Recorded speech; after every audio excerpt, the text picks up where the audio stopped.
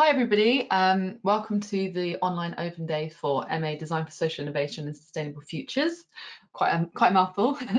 um, I am Emily Briselden Waters. I'm currently the acting course leader for the course um, and we're also joined by Anna Schlim. Um, so we're two of the lecturers on the course and we're here to kind of guide you through today and to answer any questions you might have. Um, so let's get started. So as I mentioned briefly, um, I'm the acting course leader. We currently have, um, our current course leader is currently on maternity leave, um, but they will be returning in September 2023, which is this year. So if you were to kind of apply for the course and go ahead and get a place, then um, Ella would be your course leader, who's fantastic as well. So who we are. So MA Design for Social Innovation, Sustainable Futures uh, is a course that questions and hopes to expand what design can be. We're a generative studio for creators interested in working towards eco-social sustainability. As a community, we strive to challenge norms and imagine alternatives by centering care, plurality and justice in our work. So that's kind of our, you might have seen that kind of bio on our, our, our website or you might have kind of heard about us. But I think kind of breaking that down a little bit is our students are really interested in kind of asking questions and questioning uh, the kind of structures in the world and questioning the systems that we might have kind of been working with. Um, something that I always kind of talk about is at our final degree show, um, you know, all of our students' work was very much about these proposals for these new futures and these new ideas. Um, it's not necessarily fixed to one um, type of practice. It's very interdisciplinary. We have students join us from all different backgrounds, um, all different design practices. Some students aren't aren't designers, some students are scientists, some students come from from all over and all different practices. So I think that's what make us makes us quite unique is the fact that um, it's about all of these different expertise coming together. And I think we learn a lot from each other on the course as well as obviously from the lecturers. So it's about kind of how we can kind of work together in a caring way as well as kind of doing your degree.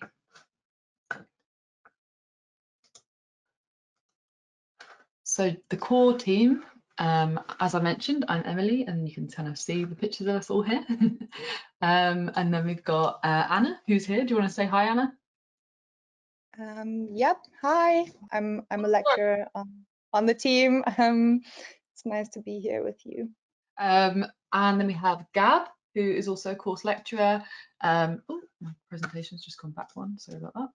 Um, and we have Zhao, who's a course lecturer as well, and then obviously Ella, who is the course leader, but is currently on maternity leave. So um, these are the core members of staff, um, and then we have kind of associate lecturers and visiting practitioners and kind of guest lectures that come into the course as well. So that's kind of people who are working in industry, um, and have lots of experience and will come in and they may, might come in and do a lecture. They might come and teach for a couple of weeks on the course, um, or they might come and hold a workshop or something like that. So um, even though there's kind of five of us as the core staff, we really try to bring in lots of people with different expertise, different lived experience um, to make sure you get a really rounded um, experience on the course this is the way that the course is structured, and I'll talk you a little bit through each of the units. Um, and Anna was going to kind of help me with some of the units that she's running. So we all kind of take charge of different units throughout the course that kind of sit with our own practice. Um, so there are five units on the course, um, and your final major project is the last unit. So that's like the big core unit of, of your degree, but everything leading up to that is kind of learning and understanding um, using kind of gaining tools and gaining insights that you can use for that final major project. Um, so unit one is research and framing. Um, unit two, eco-social impact and innovation. And then you've got unit three is your collaborative unit. Unit four is your co-design and sustainable futures unit. And then unit five is this design in action final project, which will kind of take up a, a big chunk of your time on the course.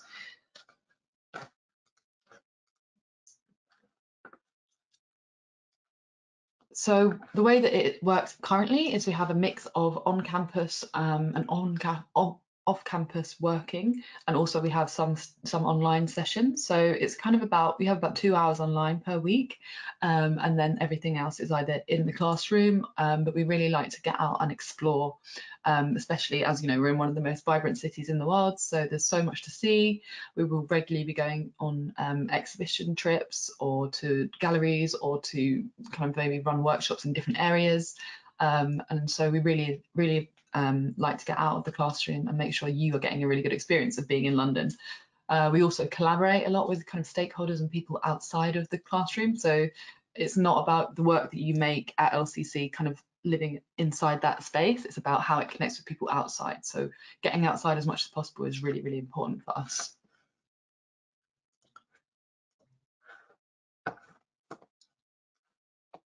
Um, as I mentioned before in the introduction, is that we work a lot, we work together, it's very collaborative. Uh, yeah, you'll learn a lot from the lecturers and the associate lecturers and the kind of visiting practitioners, but you'll also learn a lot from your peers. So um, we ask students to kind of run workshops. We ask students to give have an input in the course. I think it's really important, like the amount of work that you put in and the amount of engaging engagement you have with the course, you'll definitely get lots and lots out of it. So, you know, and you come and you're part of this course, you're a valued member of that of that team, and we kind of expect you to kind of step up and um, be part of that um, and kind of take charge of your own experience as well.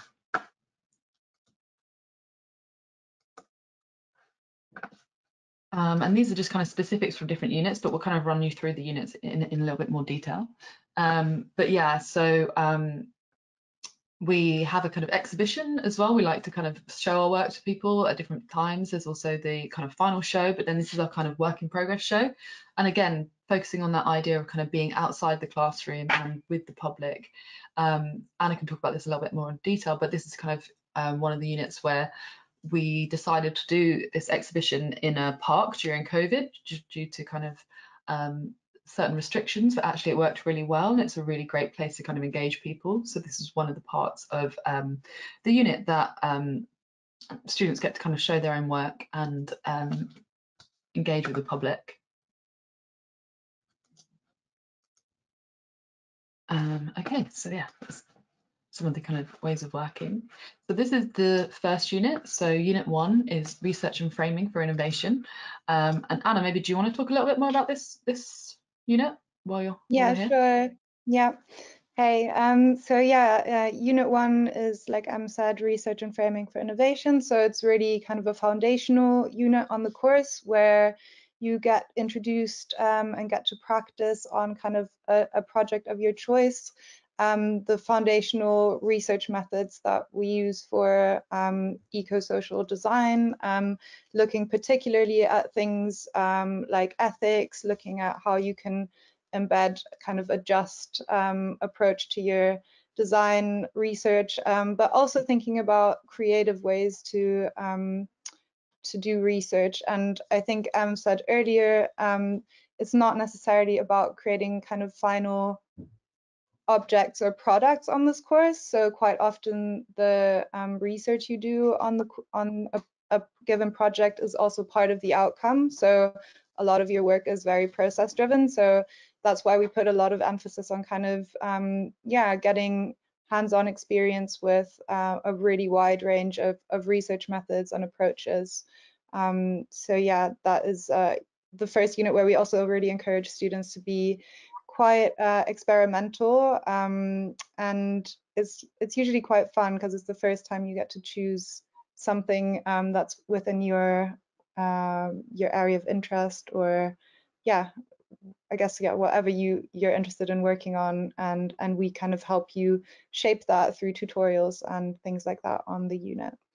Um, unit two is called Eco-Social Innovation and, and Impact. So it's it kind of runs alongside um, unit one and it, it, actually those two units are very interlinked um, and you look at the same subject matter in both of those units. Um, so we think of, of unit one, the research unit, as kind of an opportunity for you to do research, and unit two is is more about then taking that research, looking at it in a more kind of complex um, way, um, and and kind of situating it within wider discourses of design, of sustainability, um, and um, then actually developing a more practical uh, outcome from the research you did in Unit 1. So it's kind of a chance to put uh, your research into a more kind of um, refined design proposal, make use of some of the workshops and spaces at LCC and actually get your hands dirty um, in making, yeah. Just to say also there's, for example, there's a reading group that is part of uh, Unit 2.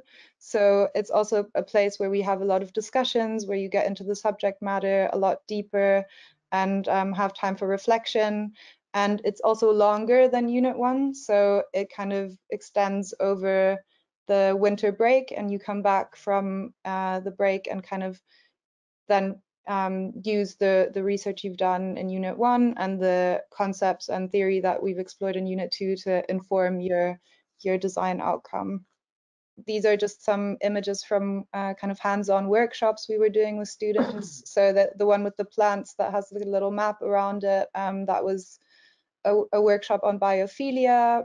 Um, so looking at kind of designing with and for and inspired by plants. Then the the one where you can see the kind of poster making, I think was um, students making a podcast uh, about um, objects and um, we have a, a, lecturer who who focuses on kind of cursed the concept of cursed and blessed objects and looking at that through kind of a a, a cultural lens and seeing um, how we interact with the things around us. Um, and then the other image is from a mending workshop. So we, we do a series of talks around the politics of making, different approaches uh, to making, and then also um, experimenting with those in practice. And then uh, unit three is the collaborative unit. Um, so this is a really important unit for students. It's kind of taking everything you've kind of learned in the first two units and also kind of putting it into practice. It's about learning how to work with your peers. So you'll be working in groups of kind of five.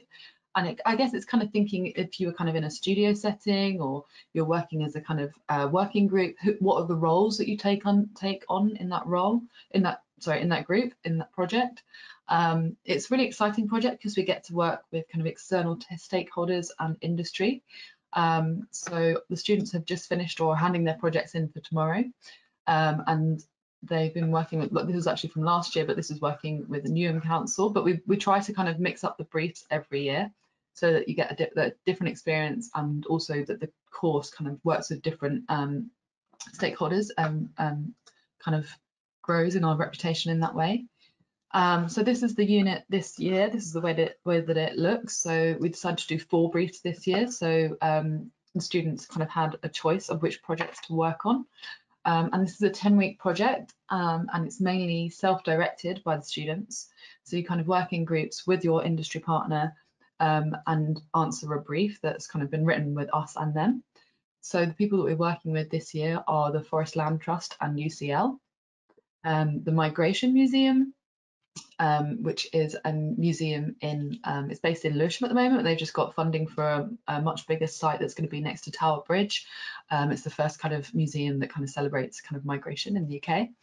Um, and then the line is a kind of mental health and uh, public art walking um, external outside gallery, I guess, if that if that makes sense. Um, and so that's also about kind of like that the students are specifically working on um, the idea of well-being and how that can impact um, people's mental health, how that how nature and walking and being outside in London, in the city, can can you know be beneficial for people. Um, so that's really interesting. And one of the students who graduated from the course two years ago is actually working at that organisation. So it's really nice they've been able to kind of come back and work with the students in a very hands-on way and kind of give their input of obviously how the organisation runs, but also their experience of being on the course and how they were working when they were studying as well. So we really try to kind of keep that um, connection with our alumni. We're a relatively young course, so we don't have huge amounts of alumni, but it is growing and growing. And all of our students, we kind of invite back to come and kind of share their journey, which I think is really, really great. Um, and talking of that, Rene Materials are uh, very recent graduates. They graduated, they're graduating this year, but they finished um, in December. Um, and they are two students that for their final major project set up um, Rene Materials, which is a kind of circular material um, system that works at Central St Martin's. Um, and it's about kind of materials. So people, any unwanted materials, people will drop off. And also it's open to students to pick up materials and it's free. So it's kind of trying to get rid of like some of the waste that's actually made within these um, within these schools. And at the moment they have kind of, they've just won, I think, um, some funding um, at, at to be kind of uh, in a, in a uh, an, in an incubator, I think, for that project. So there's lots of opportunity as well when you kind of take your final major project. Like I said previously, like you know, it's about lots of students kind of come to a point at the end of their project where they're still asking questions and they're kind of proposing next steps. Um, and then there's lots of support within the university to help you get funding for that or to give you mentorship or to you know help you push those things forward. Um, so we're really supportive of, of your projects and your ideas but yeah, so um, then we have after your collaborative unit, which is 10 weeks, at the same time you start your unit four. So that's also something to mention that um, the units, the way that they run, they overlap. So you're not only working on one project at a time. So it's very much about kind of managing both those projects, knowing where to put your resources, knowing where to put your time, and kind of getting used to working in that very kind of professional way. Um, so Anna is the uh, unit leader for uh, co-design for sustainable futures. So I'll hand over to you to talk about some of these um, examples. Um, the title kind of says what it is. It's about looking at um, kind of moving away from uh, individualist visions for a future, um, starting to think about visions for plural futures, meaning um, that you get the people who are implicated in the kind of future you're thinking about involved in the process. So the, the image here where you can see um, students kind of collaging uh, is a big, we, we run kind of a world building workshop um, where you start with kind of a signal in the present that you're interested in and extrapolate into a future scenario and then co-create that, that world together. Um, and throughout the unit, you use this world and expand on it through your research and then uh, kind of co-design an object from that future that you want to bring bring back into the present to kind of have a conversation about or kind of generate a community around um, uh, in the here and now so that it helps people to kind of open up possibilities and open up imaginations about uh, different kinds of futures and what might be possible. Um, so it's quite a fun unit. Uh, we do a lot of kind of experimentation. Uh, the the screenshot here uh, was actually during during COVID. We did a whole workshop and we were kind of stepping through digital portals into different kinds of futures, collecting clues, bringing them back, and um, it was involving also a lot of role playing. And yeah, we just tried to have a really kind of varied and, and fun time and then as I mentioned kind of in the introduction, you know, the idea that we're kind of a collective as a course. Uh, you know, we like to get out of the classroom, we like to do things together. Here we are at the, at the um, Greenwich Observatory. Um, we eat a lot of pizza. I think we seem to kind of, um, we come together a lot of, as a course and we want to kind of share ideas and we want to make it a very kind of social experience as well. Um, and so there's a lot of kind of collective action and, and kind of collaborating throughout the course. Um, so this is the uh, degree show from um, last year. Um, and it was a really interesting um, opportunity for us because uh, the two previous years it was um, COVID, they were online, and then the year, the one year that it wasn't online, it was off-site.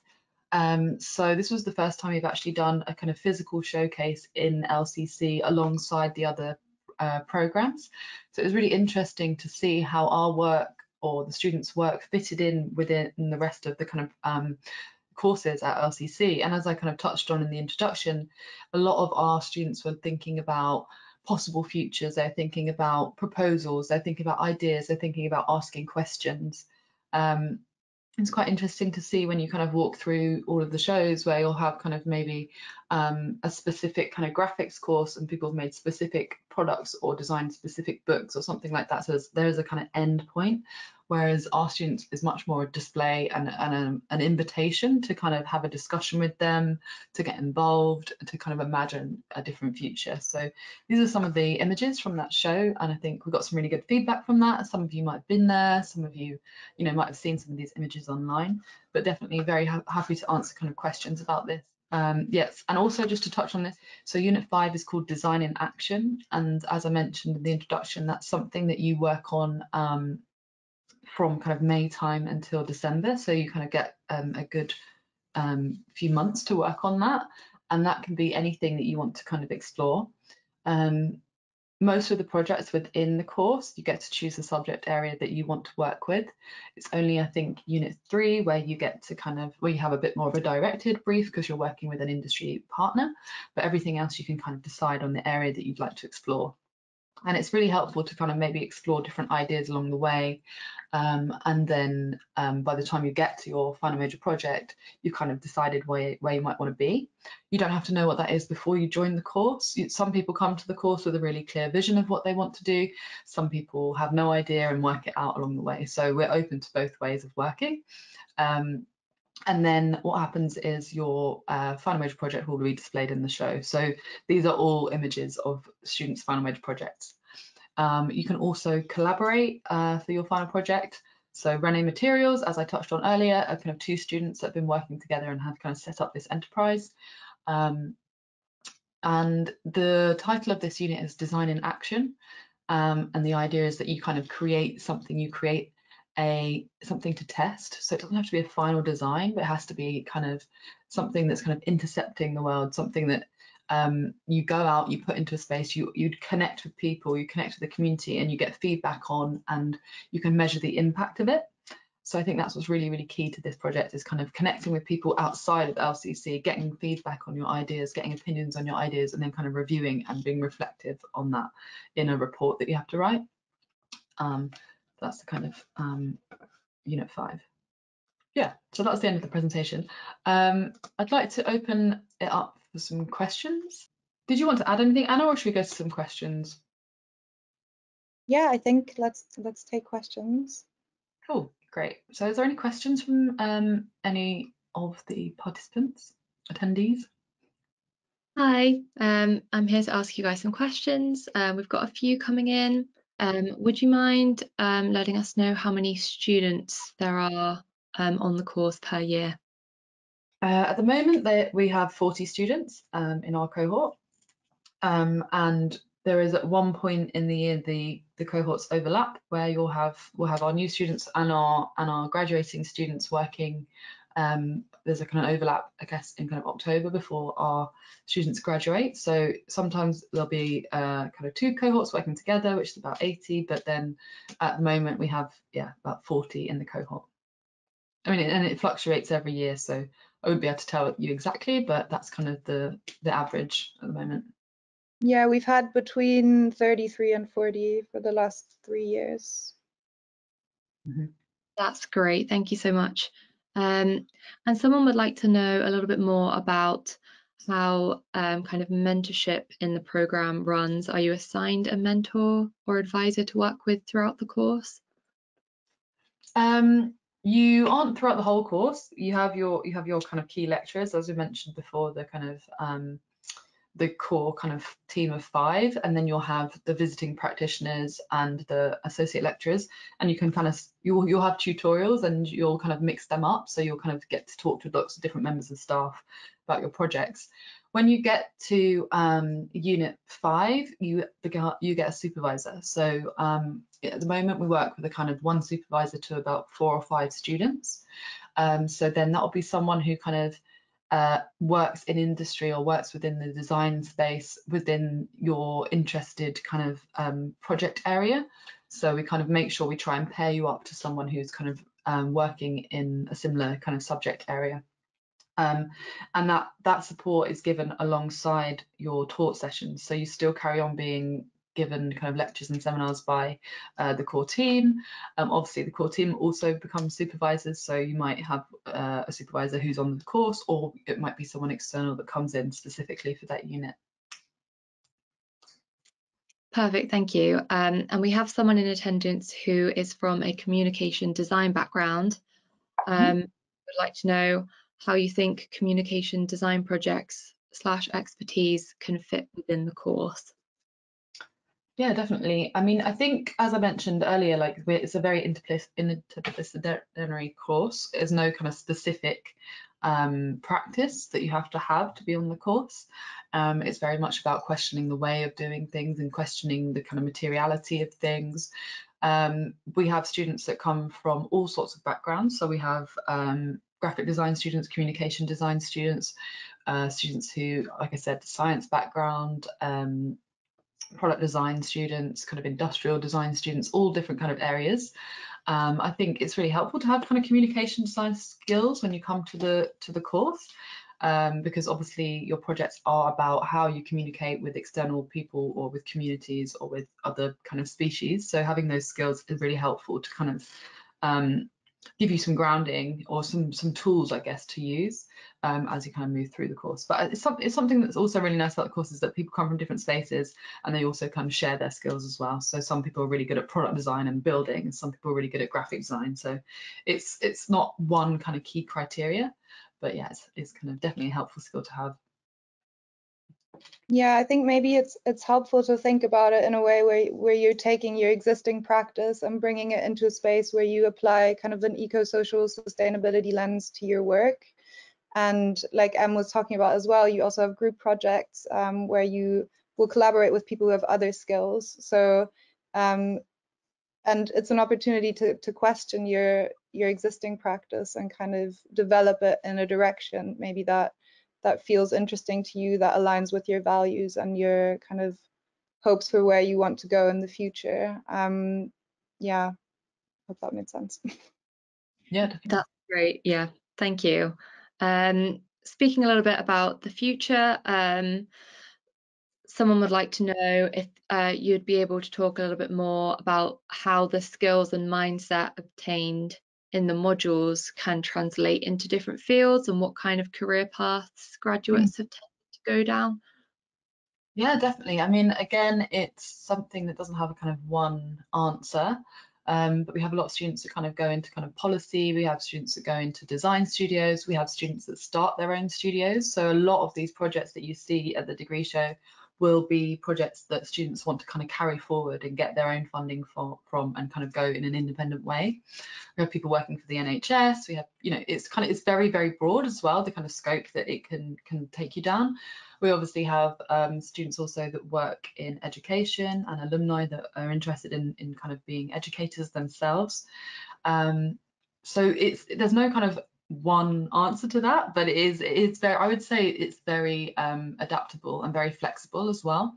I think some more feedback that we got from um, from people visiting the show from all different industries were saying, you know, we need these ideas within our companies, within our kind of setting. So it's not that it's about where do um, what jobs do our students get? It's about which company needs a designer who who thinks in this way. And I think you know lots of people are starting to think in this kind of eco-social way and lots of people need to kind of rethink the systems that are built. Some of our students go into kind of service design spaces and and kind of different places like that. I mean anna do you have anything to add on that? Um i think you yeah i think you covered it. Um but yeah I, I think that there is just no straightforward answer to that question. And i think it also depends on, you know, some people come into the course and know exactly where they want to go. Um, some people experiment a lot and try different things out and might find something completely new that they're interested in. So um, yeah, also one thing to mention is uh, quite a few students go on to do PhDs um, about topics that they've kind of gotten interested in on the course. Um, so yeah, uh, I, I, think we try to give you lots of examples of what people do in the field. So bringing in kind of practitioners to give talks about um, what they do and also how they got there, because um, it, it, it tends to be quite non-linear, I think, and a lot of all of us on the team as well. We we didn't just you know go straight into this. We all have our own little kind of squiggly uh, journey to get to the point where we are now. And um, we're also all very happy to talk about that. Um, so yeah, hopefully it's it's something that becomes clearer and that we can also help you kind of define and prepare for once you're on the course. Yeah, definitely. And I think each year as well, like um, students with different interests come through. So we kind of do everything we can to kind of connect those with those networks. And I think that's also what happens with the supervision. So um, I, I originally, when I started working on the course, was a supervisor and um, I kind of connected my supervisees with industry in areas of people that I knew and areas that they were interested in. Um, so yeah, there's a lot of support within that space, but we can't give you a, a, direct answer of this is where you will go because it's you know it's so broad and it's kind of up to you to decide what your area of expertise is. That's great, thank you. Um, I guess on a slightly different vein, um, as a student at LCC, are you able to use other college um, kind of workspaces? Um, and if we're kind of talking about collaboration, do we collaborate with other courses as well? Uh, yes, you can. You have access to all of the campuses if you are a student at LCC. Um, as uh, Renee Materials have actually did, did, quite a lot of their work at uh, Central St Martins for the last bit of their um, degree uh, but you have access to all the libraries. And I'm unsure about the workshops, but I think you, there's probably a way that, you know, if there's not something we have at LCC and you need to use a different campus, we can kind of make that happen. Um, so what's the second part of the question? Do um, we collaborate with other courses at any point? Um, there have been students that collaborate with other other courses so uh, again it's kind of um, up to you to kind of start that collaboration uh, we have in the collaborative unit, we are collaborating with a course from UCL as well, about which is um, kind of more of an urban planning sustainability course. Um, but I think um, it's very kind of welcome for you to collaborate, but kind of going out and finding those collaborations for your projects um, is really beneficial. So yeah, we're open to it, but yeah. you need.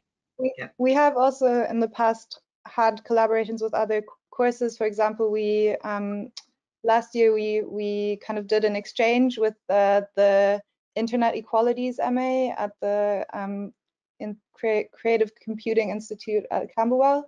So some of our students attended a course that they were uh, a unit that they were running, and some of their students came to us. So I think there's always opportunity, um, and we're all, always really open to you kind of suggesting things. Um, also, I think a lot of students um, just collaborated with students on other courses for their final project. So I know that one of the people I was supervising was working with um, a data visualization student. Um, so yeah, like Em said, it's it's kind of also up to you to to kind of reach out to people um, and make suggestions to us because we are we're kind of always up for hearing from you. Mm -hmm. Yeah, definitely. That's great. Thank you. Um, would you mind expanding a little bit on who the visiting practitioners may be? Um, for example, what fields of work have they come from? Uh, yeah, definitely. I mean, again, we try to get in a really diverse range of people. Um, we try to make sure, you know, you, you kind of, all of the interests on the course are kind of catered to. Um, but kind of some key examples, for, example, we'll have a lot of people that work in kind of planning or architecture or public um, engagement, people that do exhibition design, people that are curators. Um, I remember a really great talk that we had from someone who was coming in and talking about the experience of smell and how our, our how that impacts on our kind of overall experience of kind of paintings and visuals and spaces that we're in. Um, we have a lot of alumni who come in and talk about their experiences um, and people that come in and do workshops. We'll have we have activists that come in and do workshops around kind of messaging and how how that works as well. Um, Anna, maybe you could, you're kind of organizing some visiting practitioners at the moment, so maybe you could. Yeah, um, other people we've had, we, for example, we did a radical histories tour around Elephant and Castle with a, a historian. Um, we have people coming in, a lot of makers actually coming in. So we have one of our kind of core uh, associate lecturers uh, runs the Black Girls Knit Club and is very involved in kind of looking at textiles and craft and um, social justice. Uh, Um, we have coming up a bunch of uh, a bunch of practitioner talks uh, for Unit 4. So we've got people there from kind of a queer subculture hopefully coming in to give us archival, um, an archival session and tour. Uh, we have people who are more focused on um, growing, uh, fermentation. We've had a fermentation expert in who actually graduated the course. She was looking at kind of food racism and drawing on her um, her personal heritage as as a um, Korean student. And then um, I'm trying to think now who else is coming in. We have uh, someone coming in who's more looking at physical computing, so using things like Arduino to uh, help you create uh, interactive um, pieces or installations. We have um, someone who's very focused on kind of the use of tools and a philosophy of of making um, and reuse. So I think yeah, there, there's lots and lots of different um, people coming in with different backgrounds who all kind of add a different perspective to what design and sustainability and creative practice is and can be. Um, and they're all, they all tend to just be really open to kind of discussing their practice and discussing um, how they got where they are, which I I always find really useful because it's very hard to kind of see someone doing something really cool and being like, but I could never get there. Um, so I think it's really useful for people to kind of explain, you know, maybe they came from something completely different. Like one of our practitioners did a philosophy degree and then ended up becoming a maker, but that completely informs like how how he makes and what he makes. And um, yeah, I guess people come from very diverse and, and interesting backgrounds in general. Um, I hope that gives you kind of an idea. It's not very, I feel like everything we say is like, there's no straightforward answer, but there's a lot going on. also, what we do, what we try to do is um, we kind of reflect on the course a lot and we also listen to the students a lot. So we ask the students what kind of practitioners they would like to hear from. So there's once if there's someone specifically you'd really love to come and do a guest lecture, we'll reach out to them. Um, so we kind of adapt and change the course to fit the, the cohort that we have as well, because we want to make sure it's rewarding for the students that are on the course. That's great. That sounds really interesting. Um, we have a question about technical skills. Um, do applicants have to know a lot of technical skills before they apply? And is there any support available when they do join? Um, no, we don't expect you to have uh, necessarily any technical skills. Um, I, obviously, um, some some form of design skills or some previous BA, but it also doesn't have to be specifically design. Um, there are lots of technical workshops within LCC. We have a creative um, creative tech lab where you can kind of literally go down with an idea and kind of go and say i want to make this thing. So if it's if you're thinking around kind of technology side of things there's lots of those things um, at lcc also as anna mentioned the kind of creative computing at camberwell.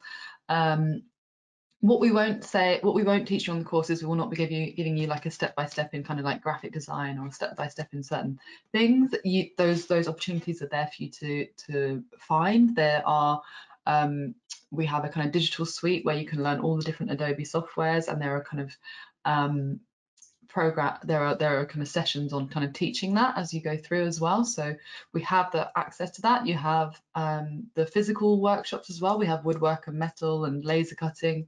And again you'll be introduced to all of those um, and then it's kind of up to you to kind of go in and use them um, I guess what we teach on the course is very much about kind of critical and theory and kind of conceptual design, and then you're and and kind of the politics of making, but you're the ones that have to then go and kind of, you know, put that into practice.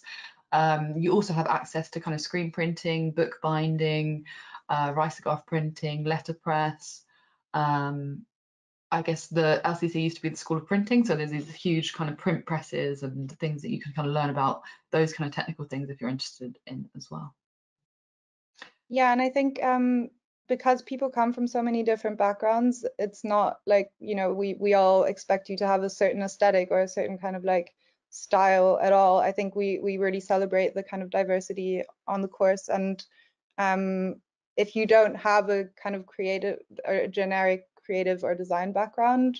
Um, we're also very interested in, you know, figuring out how you can make some sort of aesthetic or approach to um, visual um, and project communication work for you. Um, and again, I think working with other students is always an option. Um, exchanging skills is an option, whether that's within our course or in other courses. So yeah, I would, yeah, I think encourage anyone who who's interested and feels creative in any way to kind of um, go for it.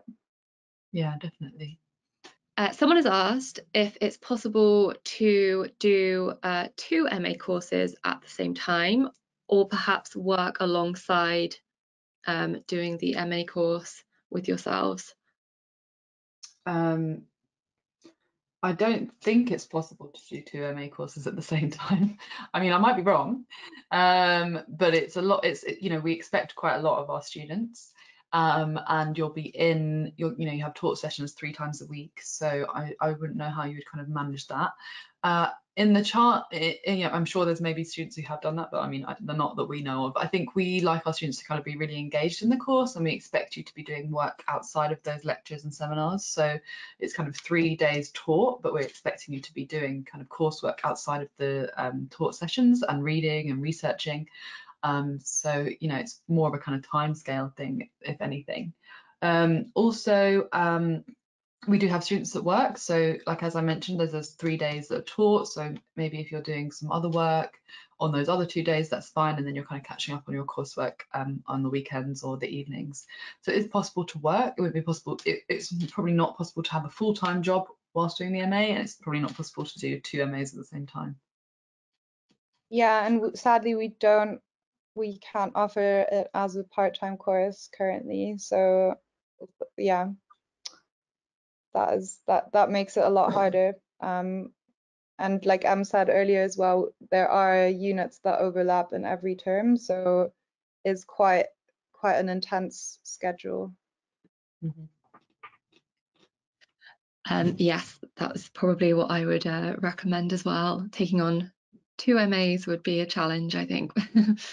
um, in regards to portfolios, um, someone's asked, do you require a portfolio and what would an ideal portfolio look like for you? this is going to be another one of those questions where we're like, there's no ideal. But yeah, um, we do require a portfolio. Um, we have just been looking through recent applicants, so I can I can confirm that we reply, we require a portfolio of work. We also require a video of you talking through uh, your portfolio, which is really helpful to give us context around um, what we're seeing.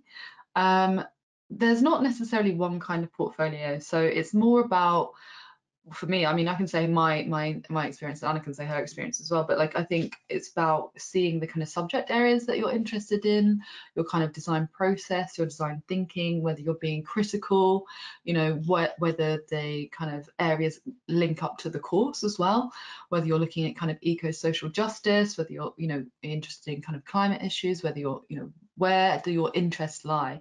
And also um, i think something that we like to see a lot is kind of empathy within portfolios people caring about other people people caring about the planet people being quite active in in that care as well. So there's no kind of we want to see six graphic design projects about this. It's more um, the kind of content the subject area and your approach to those projects that we're interested in in hearing about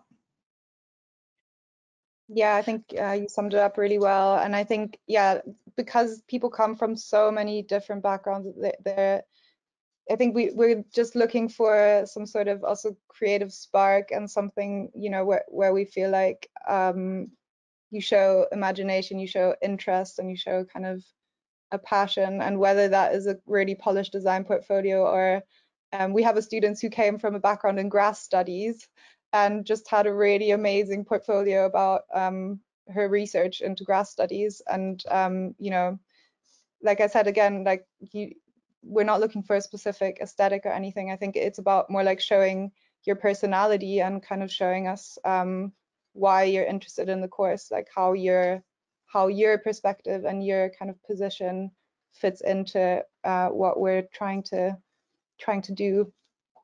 Mm -hmm.